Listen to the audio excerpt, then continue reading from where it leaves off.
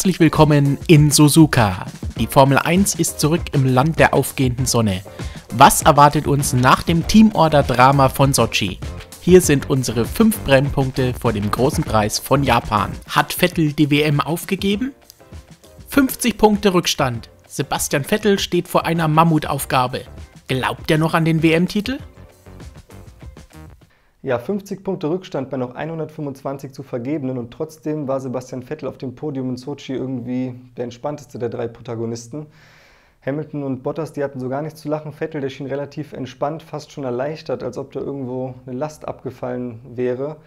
War es vielleicht einfach nur die Erkenntnis, dass er an dem Tag nichts ausrichten konnte gegen Mercedes und deswegen mit sich im Reinen war? Oder war es vielleicht doch schon ja, innerlich einfach die Resignation, dass er jetzt erkannt hat, okay, die Nummer ist durch, der Zug ist abgefahren.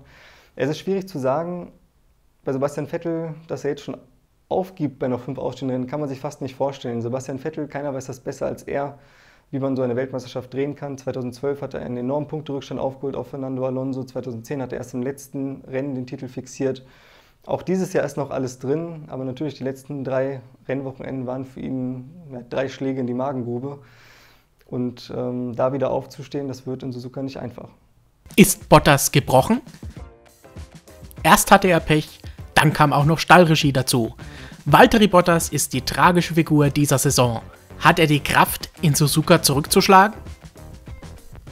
Auch nicht einfach wird es für Valtteri Bottas in Suzuka wieder vom Boden aufzustehen. Der arme Finne, an dem wurde dieses Jahr ganz schön rumgebogen. Die Frage, ob er jetzt schon gebrochen ist, schwierig zu sagen. Im ersten in der ersten Saisonhälfte gab es ein, zwei Rennen, vor allem Baku und China, wo er locker schon mal diesen Saisonsieg, den er ja so ja, verbissen hinterherläuft, den er ja unbedingt haben will. Ich meine, als Mercedes-Fahrer, wenn der Teamkollege um die WM fährt, äh, eine Saison ohne Sieg abzuschließen, das wäre schon wirklich bitter.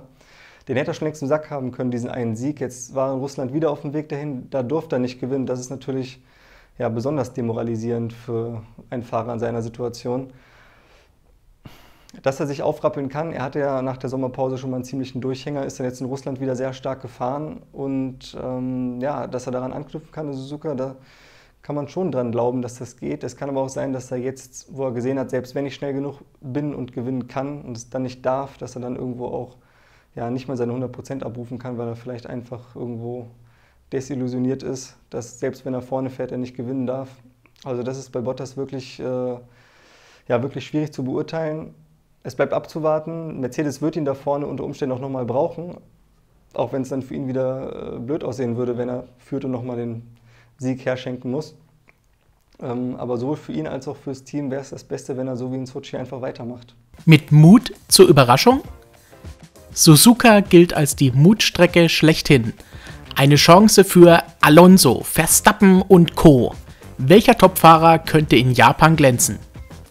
Ja, Suzuka neben Spa-Francorchamps wahrscheinlich die einzige übrig gebliebene altgediente Fahrerstrecke im Formel 1-Kalender.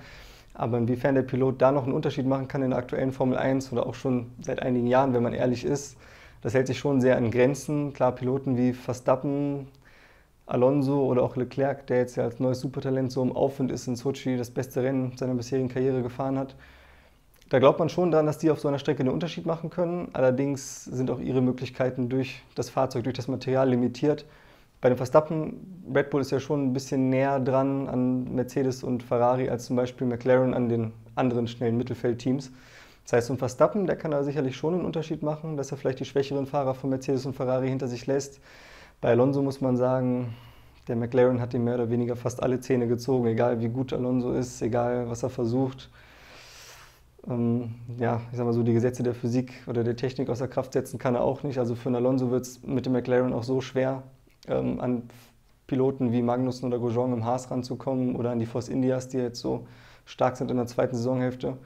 Bei dem Leclerc wiederum ist es so, der Alfa Romeo sauber, der hat gute Fortschritte gemacht dieses Jahr, Leclerc noch bessere Fortschritte gemacht. Und bei dem könnte ich mir vorstellen, dass er im Mittelfeld wieder die erste Geige spielt hinter den drei Top-Teams. Punkte mit Suzuka Special? Der Russland Grand Prix war ein Reinfall für Toro Rosso. Jetzt folgt das Heimrennen von Motorenpartner Honda. Bringt das Suzuka Special eine Entschädigung für Sochi?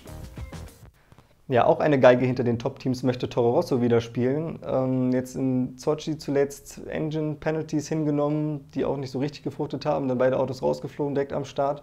Aber jetzt in Suzuka natürlich ein ganz besonderes Rennen für Toro Rosso dieses Jahr, nämlich mit Honda Power am Heck quasi das zweite Heimrennen oder das dritte, wenn man ehrlich ist, so nach äh, Monza und auch Österreich. So Japan das dritte Heimrennen für das Team.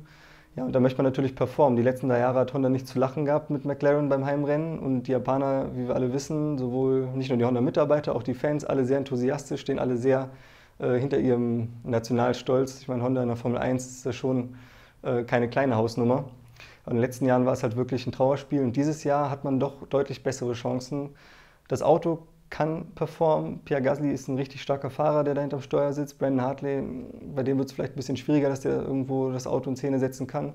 Aber Pierre Gasly, da glaube ich schon, dass der es schaffen kann, die Japaner jubeln zu lassen mit einem Q3 und vielleicht auch punkten. Regenchaos in Suzuka? Ein schwerer Taifun traf Japan. Auch am Rennwochenende könnte es regnen. Gibt es wieder einmal Regenchaos in Suzuka?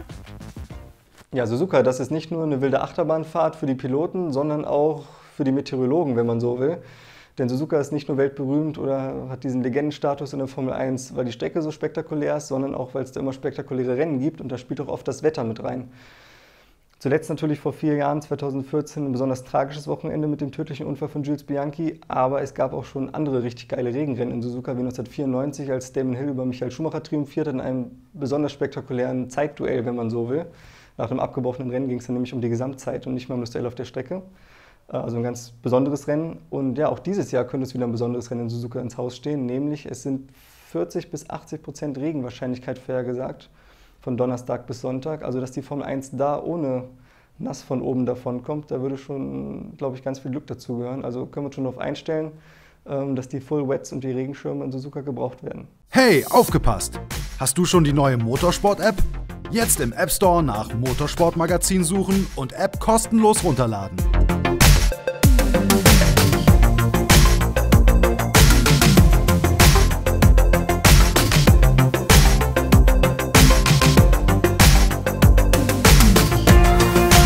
Alle News, alle Ergebnisse, exklusive Videos. Hol dir die kostenlose motorsportmagazin.com App auf www.motorsport-app.com. Und wenn euch das Video gefallen hat, drückt den Like-Button und abonniert unseren Channel, damit ihr kein Video mehr verpasst. Bis dahin, euer motorsportmagazin.com.